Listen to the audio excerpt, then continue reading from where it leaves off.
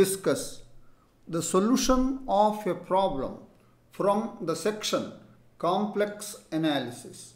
The problem is on the application of identity theorem in complex analysis. This question has appeared in CSIR National Eligibility Test held on 16th February 2022 and it is from the section B.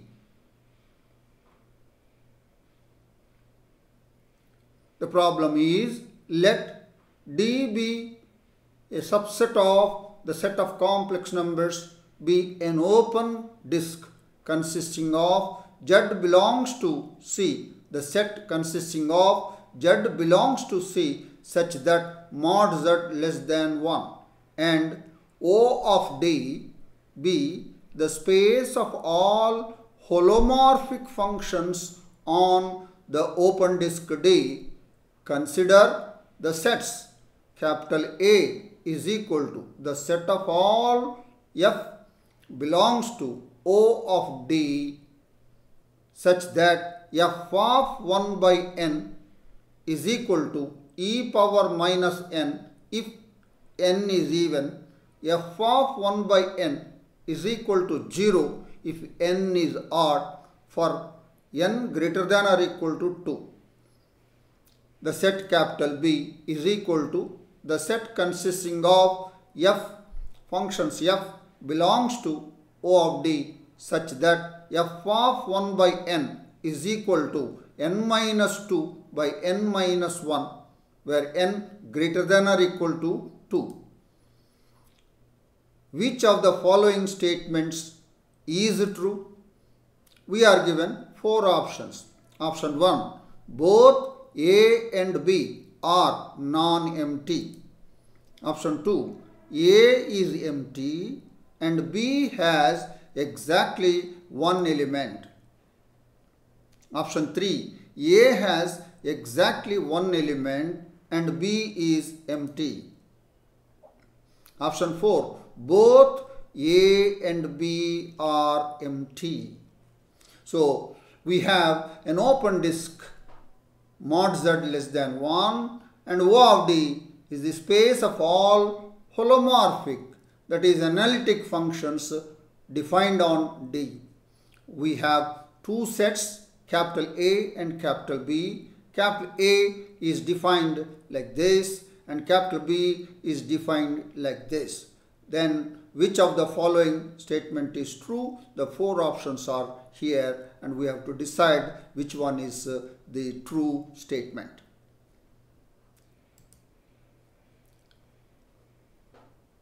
Now before getting into the discussion of the problem, let us now recall the identity theorem.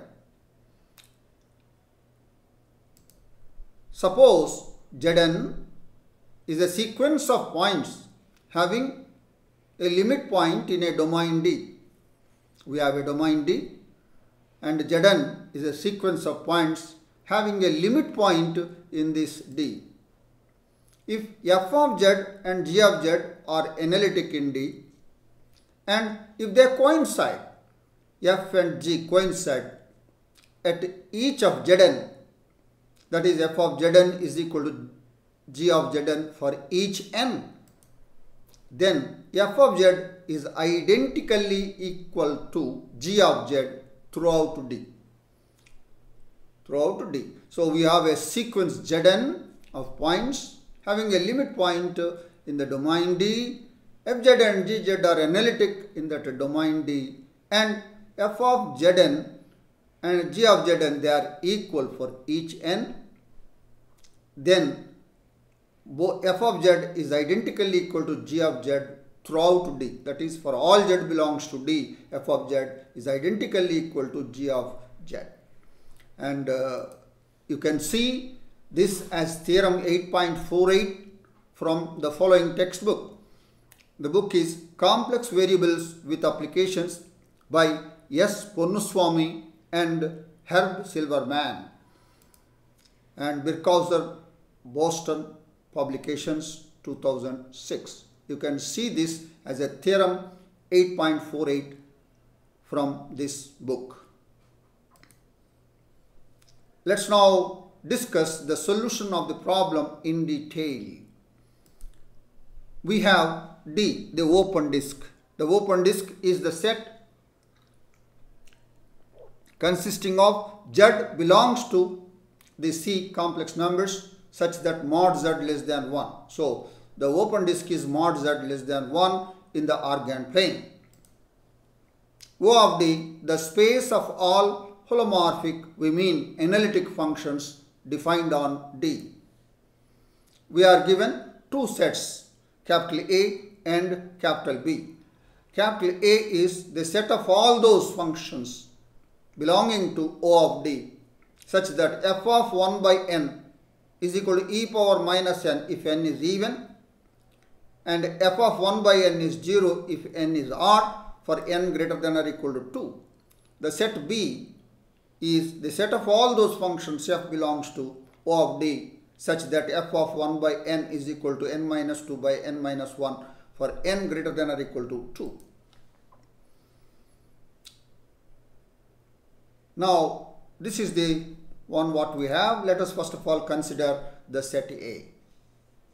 In this set A, you take f be any element of capital A. So, f belongs to A be any element means what? f is analytic in D, yes, because f belongs to O of D. So, and f of 1 by n satisfies both these conditions that is e power minus n if n is even and is equal to 0 if n is odd. But first let us let us take f of 1 by n is equal to 0 when n is odd n greater than or equal to 2. Now let g of z is equal to 0 for all z belongs to D that is g of z vanishes at every point of the domain D. Then obviously g of z is analytic in D and we have a sequence Zn is equal to 1 by n for n is equal to 3, 5, 7 in D. Why? Because n takes odd. So Zn is equal to 1 by n is a sequence for n is equal to 3, 5, 7 and this sequence has a limit point 0.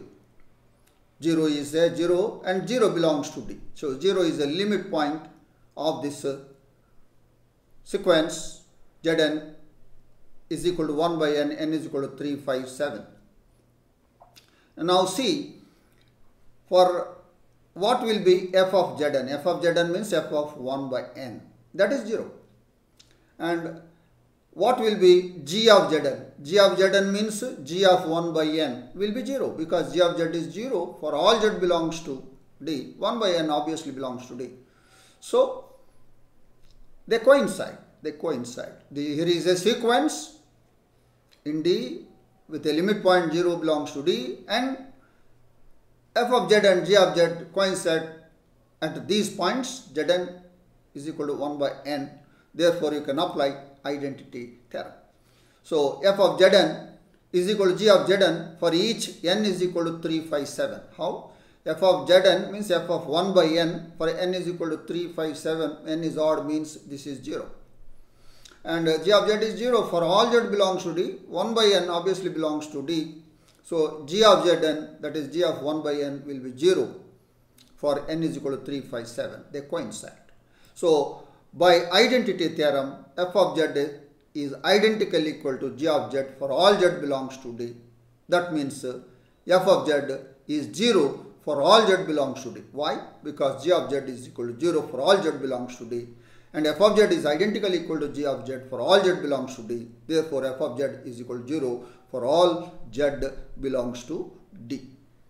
So, f belongs to A and uh, satisfying f belongs to A means it satisfies this f of 1 by n is 0 if n is odd f of 1 by n is e power minus n if n is even. We have considered the second case and f also has this property as this property. Now, since f, f belongs to A, we also have f of 1 by n is equal to e power minus n for n is equal to 2, 4, 6. But this is not possible. Why? f of z is equal to 0 for all z belongs to D. We have already we have already seen this. And this is not true since uh, f of z is 0 for all z belongs to D. So this means uh, we we are assuming that uh, f belongs to A means f will satisfy this. At the same time, f must satisfy this one. f must satisfy f of 1 by n is equal to e power minus n. And that's not possible because f of z is equal to 0. This is not true. That means uh, there is no, that means no element, no, a, no function of A will have both these properties. Both these properties. So that means uh, it is uh, a empty set. There is no such function in A. So therefore, there is no f belongs to A. That is, A is empty. Continue the argument in the next slide. We have B. So let us take this B. Now let, uh, let us take uh, a function defined as g of 1 by n is equal to n minus 2 by n minus 1 n greater than or equal to 2 and that is g of 1 by n is equal to 1 minus 2 by n by 1 minus 1 by n. So, there exists a function g of z is equal to 1 minus 2z by 1 minus z. And this is obviously analytic in D, analytic in D and uh, it uh, D is a unit circle and uh, unit circle means the open open unit disk, therefore 1 lies outside, therefore 1 minus z sitting in the denominator will not pose any problems to us for the analyticity.